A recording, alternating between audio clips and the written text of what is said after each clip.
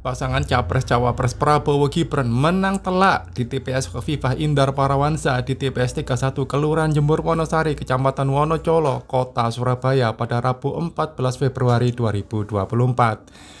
Para petugas KPPS menyelesaikan perhitungan suara untuk kertas suara Pilpres tepat waktu. Dengan hasil pasangan Prabowo Gibran mendapatkan suara sebanyak 144 suara.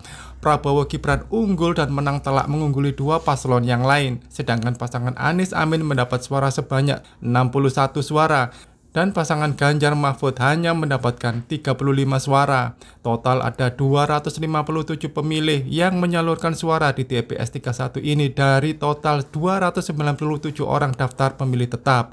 Di TPS ini ada sebanyak 13 suara yang dinyatakan tidak sah.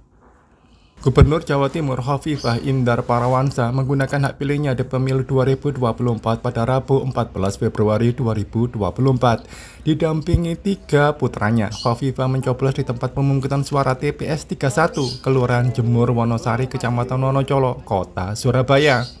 Pantauan Kompas.com, Kofifa ditemani tiga putranya yakni Yusuf Managali, Ali Managali, dan Jalaluddin Managali, dan beberapa keluarga inti.